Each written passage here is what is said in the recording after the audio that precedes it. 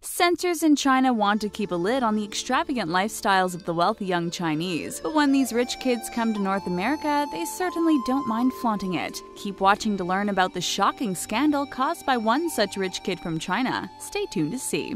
If this is your first time visiting our channel, make sure you subscribe, and while you're at it, give this video a big thumbs up. Today we're going inside the lives of the rich kids of China.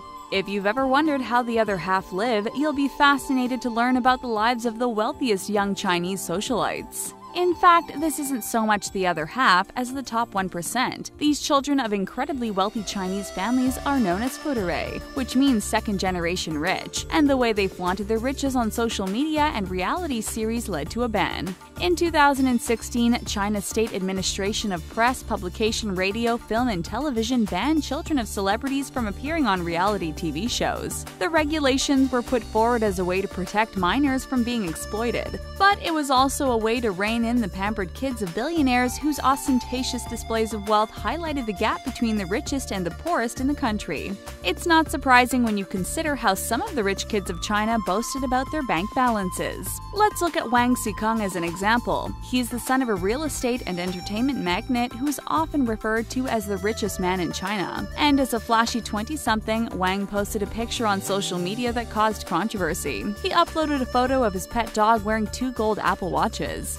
Chinese state media had already been outraged by the way he recklessly disseminates vulgar information, which leads to the worship of money. This is in stark contrast to what China's president wants his country to represent. President Xi Jinping and the ruling Chinese Communist Party have been running an anti corruption campaign which requires officials to live in a state of austerity. The government also held an educational retreat for 70 children of billionaires to teach them about social responsibility and traditional Chinese values. So, after this recent crackdown on corruption in China, such conspicuous consumption as Wang's has become a real no no. But that hasn't stopped the rich kids of China who moved to the West showing off their extravagant lifestyles. The stars of the Canadian reality TV web series ultra rich Asian girls of Vancouver are a group of fuerdai doing just that. They think nothing of dropping $70,000 on a necklace. Although censors in China banned reality shows similar to this one, saying children of the well off should not be flaunting their wealth, this program continued to be filmed in North America. So it's no surprise that one of the cast members, Diana Wang, revealed that her parents back home in China didn't know anything about her involvement in the show, and that they would be very angry if they found out.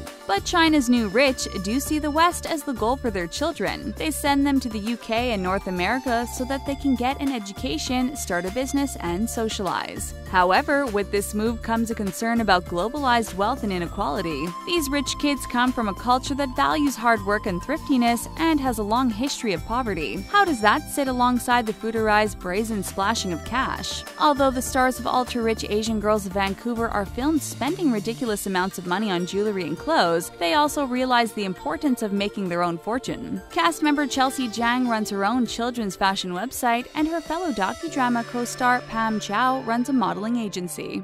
So, what do these rich kids from China who are living in North America spend their money on? One popular purchase is a supercar. A car that costs hundreds of thousands of dollars sounds like a serious splurge to most of us. But these super rich kids from China consider the cost of a Lamborghini or a Ferrari cheap. That's because elite cars in China can cost more than 250% of their price in the US. Nick Lam co founded his own company that specifically helps rich Chinese college students buy ultra luxury vehicles. The 20 something entrepreneur revealed that his clients clients consider the US price reasonable, and they certainly have enough money to buy a supercar in the States. Some deals have involved cars that sold for up to $800,000. These kinds of extravagant purchases can give rich kids from China instant fame. These new stars then give the world a glimpse inside their luxury lifestyles through their social media accounts. They also become famous through their relationships with other high profile Chinese celebrities. Moka Fang entered the limelight as a 20 something on a matchmaking variety show and then in an online series called Girls Apartment, which was based loosely on Sex in the City.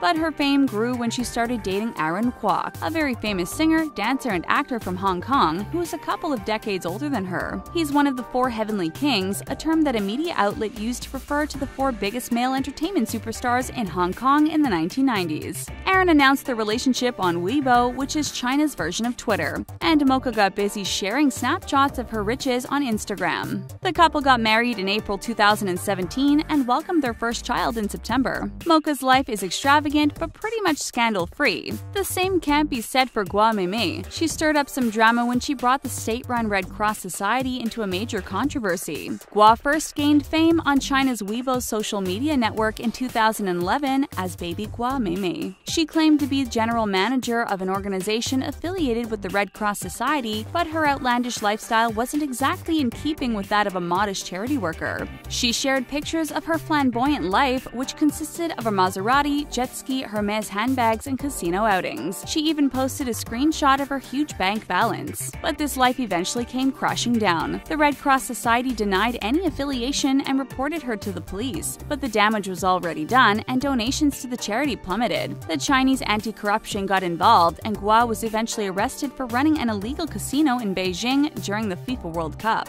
She gave a disturbing confession from jail. An apology was reportedly ordered from the highest ranks of China's Communist Party. She described herself as liking to show off and having the vain mindset of a little girl. Unlike many of the other rich kids of China, Guo didn't have a privileged background. She wasn't a fuerdai, but she did build a fortune at a young age through being a professional mistress, and it was her social media boasting that made her one of the most hated women in China. And she was made an example of in a stark warning that a reckless pursuit of wealth can have calamitous consequences consequences. What do you think about the rich kids of China? Let us know in the comment section below. Thanks for tuning in, and don't forget to subscribe to TheTalko.